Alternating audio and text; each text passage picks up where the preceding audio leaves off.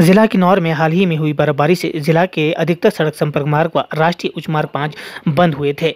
अब जिला के अठासी सड़क संपर्क मार्ग समेत राष्ट्रीय उच्च मार्ग पाँच निसंग, झूला व मलिंग नाला अब पूरी तरह से प्रशासन द्वारा बहाल किया जा चुका है, जिसकी जानकारी सहायक आयुक्त किन्नौर मुनीश कुमार ने दी है। मुनीश कुमार ने कहा कि जिला किन्नौर में बर्फबारी के बाद अठासी सड़क संपर्क समेत राष्ट्रीय उच्च मार्ग पाँच जगह जगह बंद हुआ था, जिसमें निसंग झूला, मदिंग नाला, पुरबनी झूला समीप सड़क मार्ग अवरुद्ध हुए थे। ऐसे में बी व स्थानीय प्रशासन ने आपस में मिलकर मशीनों की सहायता से राष्ट्रीय उच्च मार्ग पाँच को व सभी क्षेत्रों में सड़क संपर्क मार्ग को बहाल किया गया है। अब लोगों को आवाजाही में कोई किसी प्रकार की समस्या नहीं होगी। उन्होंने कहा कि जिला में जितने भी सड़क संपर्क मार्गों पर पहाड़ियों से चट्टानों के गिरने का सिलसिला जारी रहता है, उन क्षेत्रों में बी समेत स्थानीय प्रशासन की मशीनें लगातार सड़क बहाली के लिए तैयार रहेगी, ताकि सड़क अवरुद्ध होते ही उन्हें तुरंत बहाल किया जा सके।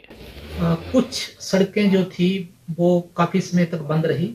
उसमें नेशनल हाईवे भी शामिल था, लेकिन दो दिन पहले जो नेशनल हाईवे पाँच है, वो नेशनल झूला के पास बुरी तरह से बाधित था और उसमें बार बार स्लाइड आ रहे थे, उसको अब पूर्णतया खोला जा चुका है।